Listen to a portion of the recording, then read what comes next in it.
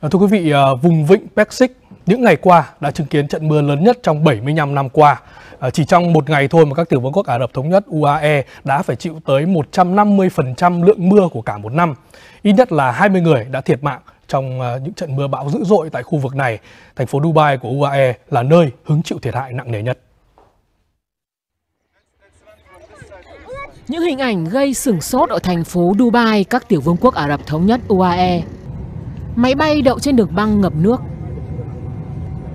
Và mèo cũng suýt bị nước lũ cuốn nếu không cố bám lấy cánh cửa ô tô và được cảnh sát giải cứu kịp thời.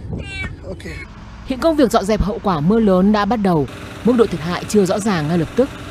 Tuy nhiên, tới hôm qua, các con đường cao tốc ở Dubai vẫn tắc nghẽn. Sân bay quốc tế Dubai, nơi có lưu lượng các chuyến bay quốc tế lớn nhất thế giới, bị gián đoạn hoặc phải chuyển hướng các chuyến bay. Tình trạng mất điện xảy ra khắp Dubai.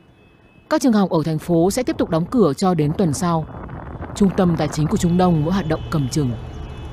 Mưa bão tấn công UAE và Bahrain vào đêm thứ hai và thứ ba tuần này sau khi hoành hành ở Oman, nơi 18 người đã thiệt mạng. Các chuyên gia đánh giá có tác động của biến đổi khí hậu trong các hiện tượng thời tiết khắc nghiệt.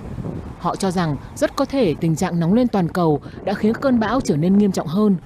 Trung tâm khí tượng quốc gia UAE đã bác bỏ thông tin rằng trận mưa bão lịch sử xảy ra là do nước này đã tiến hành làm mưa nhân tạo. Có thể biến đổi khí hậu có ảnh hưởng dù trực tiếp hay gián tiếp, nhưng cần làm rõ cơn bão này xảy ra vào tháng 4 và trong tháng 4 những sự kiện thời tiết khắc nghiệt hoặc hiếm gặp thường xảy ra. Với biến đổi khí hậu, chúng ta đã thấy rất nhiều cường độ của những cơn bão tăng lên với lượng mưa lớn. Cơn bão đã mạnh lên do biến đổi khí hậu, khiến có nhiều hơi ẩm hơn trong không khí.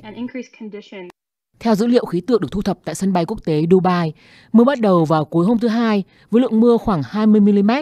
Các cơn bão mạnh lên vào khoảng 9 giờ sáng thứ ba và tiếp tục kéo dài suốt cả ngày. Đến cuối ngày thứ ba, lượng mưa hơn 142 mm đã làm ngập Dubai trong hơn 24 giờ.